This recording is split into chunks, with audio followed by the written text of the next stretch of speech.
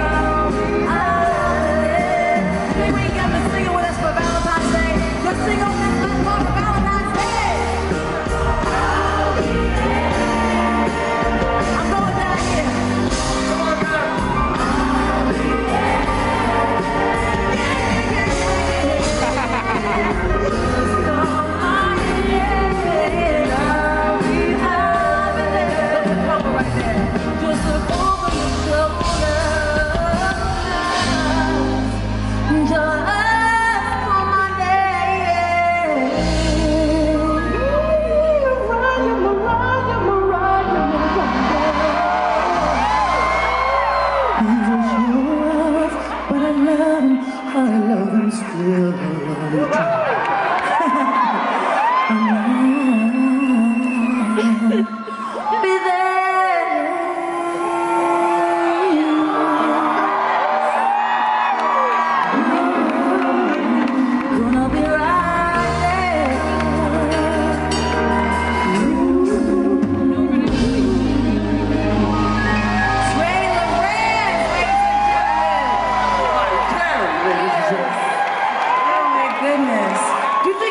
Trey to stay with us for one more song. And this is really an honor of Valentine's Day. I don't know if we're doing this again here. Did we do this here at all in America?